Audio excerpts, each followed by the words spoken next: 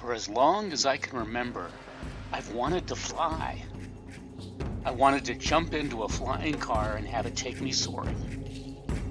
Imagine a future, just a few years away, when unpiloted aerial drones and air taxis are shuttling people, parcels, mail, pizza, auto parts, you name it, around the urban and even not so urban landscapes. So why don't we have this yet? We have all sorts of drones and urban mobility vehicles capable of flight. It's not the vehicles, it's the lack of operational protocols for safety.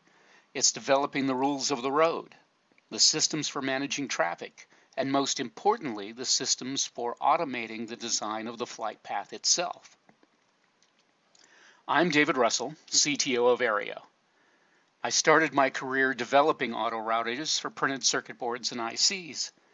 In fact, I developed the very first PCB auto router for PCs back in 1980, and I wrote just about every kind of router there is, including proprietary designs, for 15 years. Since then, I've been researching control systems for the last 10 years, and UAVs specifically the last five. So it obviously occurred to me that if I could extend my decades of knowledge from 2D autorouters into 3D space, we could apply this as a powerful tool for managing safe drone flight paths with all sorts of valuable qualities. But I'm getting ahead of myself. Just building flight paths is, as we say, necessary but not sufficient. In this session, we're going to share some exciting innovations that we've been developing around flight path automation system specifically designed for low altitude aerial vehicles. The system consists of a new flight path creation algorithm that enables and supports more intelligent UTM and detect and avoid systems, or DAA. A new definition of flight trajectories that supports dimensions beyond the standard X, Y, and Z a new addition to standard navigation and flight control in autopilots to allow precision flight in space and time, a new way of helping to automate the mission planning functions. In fact, these are so exciting that we're in the process of standing up a new company, Airio, to bring this technology to market. We're in the very early stages and we're looking to connect with you to see if there are any potential areas of collaboration. We set out thinking about how to safely operate multiple aerial drones in a shared airspace around complex urban landscapes. Since 80% of the US population lives in urban environments, and urban populations will increase to 89% by 2050, it means that the bulk of UAV logistics and UAM human transport will have to coexist in crowded and complex airspaces. How are we planning to cope with this? A lot of the thinking around managing complex airspaces has been lumped into unmanned traffic management or UTM. This was our initial thinking as well. But the deeper we got into thinking about how to build deconflicted flight paths inside a UTM solution, the more complex and cumbersome it became. That complexity arises because fundamentally, Traffic management is really a command and control idea that works for linear systems. But the future of aerial mobility is not a linear system, it's an exponential system. It occurred to us that in the existing paradigm, there are four core ecosystem components needed to safely manage multiple vehicles in a shared airspace. We need a traffic management system to coordinate among vehicles in the entire airspace. We need mid-flight collision avoidance systems, which involves all of these elements, but mostly detect and avoid. We need an autopilot or other navigational system capable of executing the flight plan within the UAV. And we need a flight plan management system for each vehicle that defines the mission and builds deconfliction into the flight path. This realization that we needed to transform our own thinking led us to recognize that what we are facing isn't a traffic management problem, but a flight path design problem. So we reframed our thinking around the question, who should control the flight path planning process in an automated environment? Today, the pilot controls the flight path, but as we develop greater autonomy, systems will have to control it. We initially started thinking that UTM would handle flight path planning, but that puts a lot of responsibility for managing the entire airspace on a single system. Also, the UTM tends to see the world as risk, so focuses on constraints. Drone operators want to focus on the mission objectives, and constraints tend to make that job harder. If the flight path is well designed in the first place, it may not need to be overly constrained. Autopilots can try to manage flight paths, and indeed, once a flight path is known, a smart autopilot system can be instrumental in executing the flight path. But like detecting and avoid, the autopilot needs to have a clean algorithm focused on navigation and stability, not planning. Detect and avoid can't really handle flight path planning either. Detect and avoid's primary objective is collision avoidance, and those systems need to be very responsive, which requires clean algorithms. If we burden the algorithms with all sorts of mission requirements and sub-objectives, it runs the risk of failing its primary mission. There are other reasons why detect and avoid shouldn't be responsible for flight paths. The uncertainty, unpredictability, the inability to integrate time functions very well, and a few others that we'll share throughout this talk. In the end, detect and avoid approach used for flight paths often looks like Go that way. Really fast. If something gets in your way, turn. More important is that the UTM, detect and avoid, and autopilots are all self-contained systems with minimal human interface. And while our goal is to automate much of the mission planning process, it inherently becomes garbage in, garbage out. It requires at least some human interaction to describe the mission plan. This left us with the growing awareness that in an automated, self-sustaining ecosystem that integrates flight paths, detect and avoid, UTM, and autopilots, the flight path becomes an essential element that can, when done well, inform and support deconflicted mission objectives. Just like piloted systems, where the flight controller is a human pilot relying on about three pounds of highly evolved neural network, in automated systems, flight paths also need to be robust, safe, and stable while existing in a highly dynamic environment. They need to be automated to the extent they can be, but they must also allow the operator to retain overall control of the mission. In other words, the flight paths must be resilient. That was our aha moment. So then our ultimate goal turned into designing and developing an automated system that constructs resilient flight paths. A resilient flight path is robust, safe, and stable while operating in a shared space that is highly dynamic. In this case, dynamic means continuous and sometimes unexpected change. Before we get into that detail, it's helpful to think about how flight paths are currently developed and executed. It starts with someone manually reviewing mission objectives, launch locations, destinations, waypoints along the desired path. The pilot or operator must refer to maps, data, regulation sets, find any geofences, coordinate with other potential operators, maybe get regulatory approvals. But after all of this, at the time of flight, the pilot or operator has no idea if this flight is convicted or not. Thinking in terms of resiliency of a flight path, a system that embodies self-organizing networks of flight paths is inherently more resilient than a traffic management system that only seeks to control and modify vehicles within static structures. A number of UTM strategies have sought to simplify the problem by restricting the airspace through layering, corridors, tunnels, and so on. This does make traffic management simpler, but it inevitably constricts the usable airspace and forces higher vehicle densities, which leads to more UTM and detect and avoid problems to be solved. In short, most flight path design and management today is a manual process, but it doesn't have to be. In fact, it shouldn't be. In terms of scalability, it can't be, because a manual process is inherently time consuming, not scalable, expensive, and prone to human factor errors.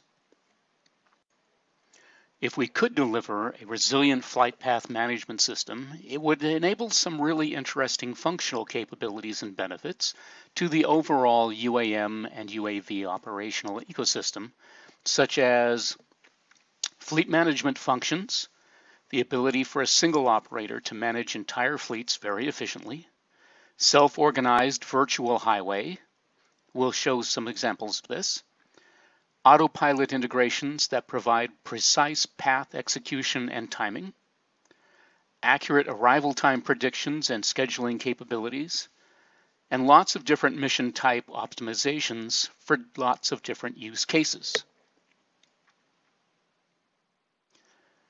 To move towards our goal, we first identified nine essential criteria for flight path management system we could call resilient. It must find paths that achieve mission objectives, ideally in some optimized way. It must operate within the available navigation space. Low altitude airspaces themselves are dynamic. The landscapes change a lot in many different ways. It must not conflict with any other planned flight plans operating in the shared space. We call this flight path deconfliction. It must not conflict with any unplanned objects operating in the airspace. In other words, it must have the capacity to integrate with existing detect and avoid systems. It must comply with regulations. This is a team effort. It must be able to integrate into varied ecosystems of traffic management systems, vehicles, prescriptive rules, and geofences. The vehicle must be able to execute the flight path in real time. This has been a major sticking point in flight pan construction, given the state of many of the existing autopilots. It must be able to deliver multiple flight paths quickly and simultaneously. It must be able to track, report, schedule, map, and otherwise provide for the standard management functions, not just for any one vehicle, but for an entire fleet of vehicles. And eventually, the system should be smart enough to integrate machine learning and other AI capabilities so that it can be fast, efficient, and relevant to a wide variety of aerial vehicle use cases. As the environment becomes even more dynamic, the systems will have to become even more self-organizing. Otherwise, we're continually painting ourselves into corners. Okay, so now that we've outlined the framework, let's dive into how this autopath system we're developing works. The core of the resilient flight path system is based on two components. The first is the path routing system itself that we're calling AutoPath. This is an integration of geospatial data, auto routing algorithms, and big data IT. It runs on a server farm so that it has all of the information it requires to analyze the mission profile, determine and construct the appropriate data sets and cost metrics, and then find and deconflict the path. The second technology is a new lightweight addition to the flight navigation and control system of the autopilot we call the Continuous Path Regulator, or CPR. The regulator's job is to enable the vehicle to fly precise, timed, paths, where the location of the vehicle is known for every moment of time. This is a prerequisite to true deconfliction.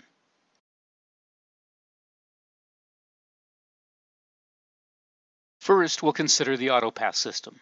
There are a lot of pieces to this, but today we'll focus on the four core elements. They are the navigation space model, pathfinding and auto routing algorithms, how we use geospatial cost functions to optimize the path for the mission, and a couple of innovations we developed to support detect and avoid capabilities, some things we call avoidance limits and multidimensional trajectories.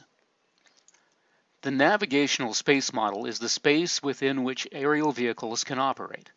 To generate that model, we rely on the geospatial community, where there is an abundance of data.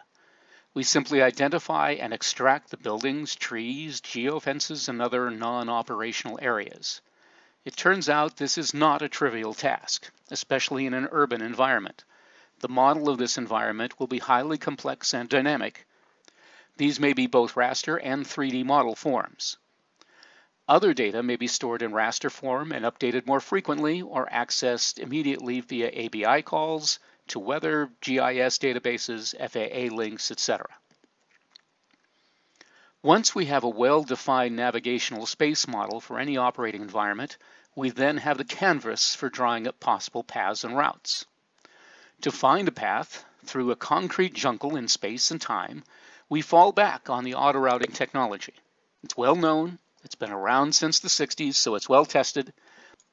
This is basically the tech that finds routes on Google, so it should be able to inform in automated vehicle flight paths. To be clear, we talk of auto routing as one of a family of algorithms, and pathfinding as the result of those algorithms for this particular application. There are generally two types of auto routing algorithms, maze or matrix routers and probe or line routers. These algorithms have been extensively investigated, so we won't cover them here, except to say that in general, grid routers tend to search the entire solution space and are guaranteed to find a path if one exists, but they're slow because of the amount of computation involved. Probe routers seek to find quick and easy solutions, but they don't guarantee to find quick results. One other area is important. In grid routers, traditionally the way the data is stored means that two routes cannot search the same area at the same time. An important feature of our dynamic database is that we have removed this restriction, allowing multiple simultaneous searches in the same space. To get our vehicle from the source point S to the destination point D, we draw a straight line between the two and use its coordinates to query the dynamic database for the, the navigational space model. If there is a path with no obstructions, we have some quick version of an up over down route, depending on the mission and the cost profile for that flight. If there is an obstruction, we break the line into subsections. Each subsection then spawns a routing agent. Since the dynamic database allows all routing agents to work in parallel and the server farm runs them at the same time, each break in the segment actually spawns several agents. Whichever agent returns the best path wins. Using agents in parallel this way improves the routing speed by orders of magnitude. Once the agents have returned with a valid route between the two points, we can apply various methods of splines, line straightening, and deconfliction to the line. We can also, for example, keep track over time of where the routes are going and at what time. As more routes try to move through a given area in a given direction, this can be analyzed to build self-organizing corridors, encouraging routes to seek these areas and directions and guide others to similar self-organizing paths in different directions. Over time, the ebb and flow of traffic will normally redistribute itself to other areas and the effects of this corridor will fade and others will grow in its place. The ability to self-organize in this fashion is critical to the resiliency of the system as crowding increases. To summarize, simultaneously solving the pathfinding and auto-routing in multi-dimensions for multiple vehicles is incredibly complicated. We've had to pull a lot of tricks out of the hat, and we still have a lot of complex elements to figure out, but our progress is very promising. Let me shift now to the cost functions. The cost function is the cumulative list of parameters used to evaluate the best path. In theory, cost functions can be quite sophisticated. In practice, they tend to be crude approximations and as such often deliver a false level of precision. In fact, the way that most geospatial systems like ArcGIS generate paths looks really pretty, but when you peek under the hood, often they are not very accurate. In fact, sometimes they over-constrain the path, and other times they imply just a false precision. Such autorouters by themselves cannot deliver the best solution. They provide one of perhaps many potential solutions that are good enough as defined by the cost parameters. The traditional cost function is usually just that, a coded routine that applies weighting values to each relevant feature it sees in the grid being processed we are envisioning not just a single cost function, but a multi-dimensional array of cost functions. When we change the cost function, it changes the routes produced. This makes it adaptable for various use cases and mission plans. For example, a cost matrix for an urban delivery use case might define costs by minimizing flight time or distance or maximizing range and speed, depending on the mission profile. Then each cost in that profile might be further altered by time of day or weather. Alternatively, a search and rescue application might use a cost model based on likely deviations from existing roads and paths, and that requires inputs for existing roads, paths, search scenarios, behavioral assumptions, sheltering buildings, water sources, and so on. Or an environmental monitoring application using multiple vehicles with different sensor types might determine flight paths based on vegetation, soils, and hydrography datasets. The best fit cost function for the exact mission profile, vehicle, time, and conditions can be selected by a heuristic, but it is also a good candidate for the application of AI for scalability. So to summarize, the cost functions are the primary tool we use for optimizing mission requirements. Our current application of cost functioning is pretty simple, so we can focus on the core functionality of the system. We anticipate that over time, the cost functions will become incredibly sophisticated and will be built upon machine learning and other AI technologies. The last major piece we want to discuss and is the innovation we're bringing that empowers detect and avoid, UTM, and autopilots to all work together better. There has always been a fundamental issue with pre-computed paths, the inability to deal with surprises. Most current systems define a flight path based on hitting waypoints, or in some cases wayfields, 2D versions of waypoints. However, what happens between the waypoints is a huge unknown, and in considering deconfliction, it's a little like horseshoes and hand grenades. Proximity matters. With waypoint-based systems, we don't know the precise position for 99% of the flight. We also don't have clear knowledge of the direction, speed, or timing. This makes deconfliction of the flight path entirely dependent on sensory detection. But we want to create flight paths that are primarily deconflicted pre-flight and rely on detect and avoid as a backup for the unanticipated events. So our little innovation is a combination of two key ideas. The use of multidimensional trajectory-based paths and a vehicle buffer we call the avoidance limit.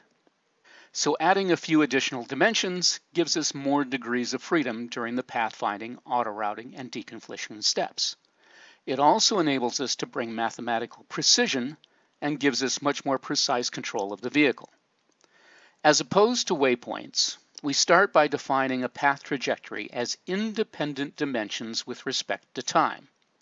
This allows us to consider the trajectory of the vehicle as a continuous path, and every point in time is mathematically associated with a point in space. For example, here is a path in x, y, and z, altitude. In a system of dependent dimensions, we can simplify them by projecting them into an arbitrary additional dimension. Since we really want time to be a part of the trajectory anyway, we can simplify this to x is a function of time, y is a function of time, and z is a function of time. We're used to thinking in terms of three dimensions, but there's no actual limit on the number of dimensions that make up a trajectory. If we add another dimension, we'll call it an avoidance limit or dimension A, it doesn't matter to the rest of the flight control system. The avoidance limit can be thought of as a sphere that travels the same trajectory as the vehicle but is independent of it. Or you can think of it as a spherical inverse geofence. When the pre-computed paths are designed, we create this avoidance sphere to take the path's spacing requirements into account such that the sphere is always clear of other vehicles or obstructions. We can maneuver within this radius of the sphere, knowing that as long as we remain within the limit, we will not impact any other path. If we take that to its logical conclusion, the time frame that the auto router applies to the avoidance limit can range from zero, just a sphere around the current location, to a spread of minutes, if the takeoff time is not well known, or to the duration of the entire flight, which makes it a tube that represents that the vehicle should be considered anywhere within that tube or even a permanent corridor.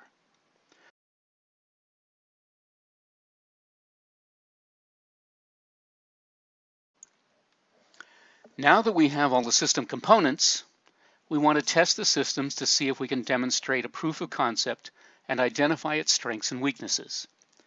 In this section, we'll describe a few of our early simulations for one of the most complex urban landscapes around, the financial district of San Francisco. We coded the four-dimensional autorouter and constructed its navigation model from a 10-meter digital elevation model of downtown San Francisco. We routed from 10 to over 300 vehicles with random start endpoints through a one square kilometer space utilizing all four dimensions. In these initial tests of random routes, all of the lines were deconflicted simply by choosing a better non-conflicting route. We can force time deconfliction to occur in some test cases, but we are still investigating how dense the random vehicle population needs to be before four-dimensional deconfliction occurs naturally. To better characterize the compute time of the grid router, we ran the entire path set with the grid-based autorouter based on Lee's algorithm at a 10 meter grid, but with full three-dimensional expansion of the initial grid cube with its 26 neighbors. As expected, this was slow, as long as 10 minutes per route. We expect to significantly reduce this compute time with our hybrid router and with some other tricks we have up our sleeves. Our initial runs ran into some issues with the resolution. Using 10 meter grids resulted in some flight paths clipping buildings. In some cases, like the Salesforce Tower, the tallest building in San Francisco, the flight paths went right through the building because our data set had a parking lot where the building was. For the most part, the simulations were very successful we were able to successfully deconflict 100% of the flight paths with respect to other vehicles for a system with 300 vehicles simultaneously operating in one square kilometer landscape. The few issues we ran into were mostly due to errors in the geospatial data and programmatic bugs at the end of the routing matrix. Some interesting behaviors of the path routing algorithm are visible in this Google Earth display of the routes. Stair steps and 45 degree angle turns are common artifacts of grid-based routers and the cost function architecture. These will be resolved as cost functions and line straightening processes are improved. A second simulation of 11 UAM vehicles lifting off from a theoretical distribution center at the ferry building shows some corridor development. This was designed to simulate the kind of flight operations we might expect at a vertiport or delivery distribution center. In this simulation, we routed vehicles to three other vertiports in the simulated model space. The longest of these routes in simulation time was six minutes. Notice the rightmost paths took a slightly longer route around the right side of the initial building obstruction, as moving left would have conflicted with other routes. Here are replays of the routes from different angles. Now we've demonstrated that our AutoPath system is capable of identifying an entire fleet of flight paths that are deconflicted with regard to other planned flights and can still be empowered with detect and avoid systems to avoid unplanned conflicts. But the planned deconfliction is only as good as the vehicle's execution of the planned flight path, including the essential factor of continuous compliance to its planned position as a function of time.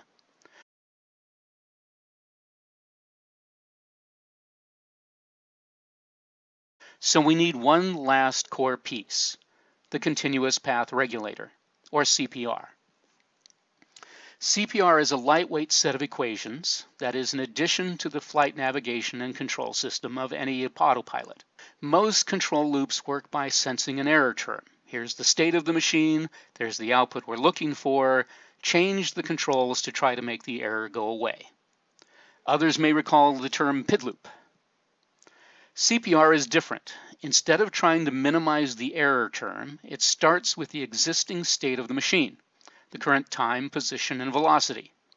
We assume there's always some error due to wind, external forces, a bent propeller, anything. Now, if we know the desired next state of the machine, we can actually calculate the exact mathematical simultaneous solution to transition the machine from the initial state to the next state. The question then is how do we know what the next machine state is supposed to be? We can know that if we have a trajectory that specifies the exact path and time we want to follow. Aha! That is why we've designed the trajectory as independent dimensions with continuous functions with respect to time. The output of the first equation is a parabola of the velocity for each x, y, and z dimension, which simultaneously solves for the change in velocity and change in position within the exact sample time. The second equation executes the velocity profile. So these two equations are the core of the CPR. The vehicle is now capable of flying a complex timed path and staying on time, on velocity, and on position for the entire path. This figure shows the z dimension of an example path and how closely the CPR algorithm in the flight system can follow that path. Remember that the purpose of CPR is to give an exact solution to keep the vehicle on position, on velocity, and on time for every sample whatever forces are applied.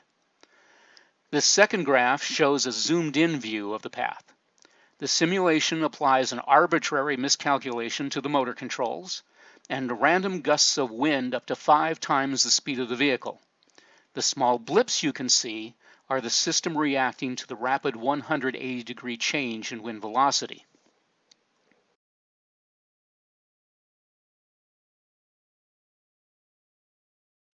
So there we have it, a comprehensive system for delivering automated, resilient flight paths. We believe that automated flight path management systems should be an essential component to the UAV and UAM operational ecosystem, at least as important as UTM, autopilots, and detect and avoid systems themselves. Our AutoPath and CPR approach to resilient flight paths works with detect and avoid, UTM, and vehicle navigation systems and all of the other elements that are evolving within the emerging market paradigm. In fact, not only does it work, but we believe that it has the capacity to make these complementary systems work better with flight plan automation as part of the mix. Automation is better, faster, cheaper, and safer than reliance on piloted systems or other human interfaces, or UTM or detect and avoid alone. As a system, it just works better. AutoPath provides true and precise auto routing that constructs deconflicted flight paths that maximize safety, enables organic self-organization of flight corridors, optimizes airspace utilization, and selects a flight path more suitable to the mission objectives. AutoPath anticipates potential conflicts along the entire flight path, enabling minor, almost imperceptible avoidance maneuvers that can begin and end well before the conflicting vehicle is within sensor range. AutoPath also could provide a wide array of management functions, precise scheduling, expected arrival alerts, tracking, automated authorizations, coordination with UTM systems, reporting, and so on. And one of the core benefits of CPR is that it would prevent vehicles from being used for nefarious purposes. Essentially, the CPR locks the navigation into an improved flight path so the vehicles cannot be hijacked in flight. There are lots of other benefits to this kind of a system, and we don't really have any more time to go into it here. We're still happy to answer questions, and you can find us at our virtual booth or drop me an email at daver at airio.io on the screen. As we further develop the system, we anticipate that a single fleet operator would be able to manage the entire fleet at a planning cost reduction of about 85% or better. We are still very early in the development of the system, and we are probably at least a year away from having a fully commercial product available. We're obviously eager to collaborate with others in the industry. We'd love to connect with you, and if you'd like to play along with us, there's lots of ways you can plug in. We need test projects. We need a few vendors for core subcomponents, especially geospatial data providers. We need some funding to get our little startups launched. Xponential is kind of our coming out party. We are looking to hire a few great engineers, data scientists, and other technical types in the coming months. We need to have some great conversations that can help us think about this stuff even deeper. And we would love any moral support along the way. So if you can help in any of these areas, or we can help you, please don't hesitate to reach out to us or visit our online booth. Finally, I'd like to acknowledge my co-authors and partners in crime. Michael Licori, my business partner and our CEO, who spent many hours honing out this paper and the talk. Fred Meyer, my friend and colleague who put in countless hours on the database architecture, coding, animations, and so on. He's our big data guru. Finally, and most importantly, thank all of you for taking the time to attend the presentation.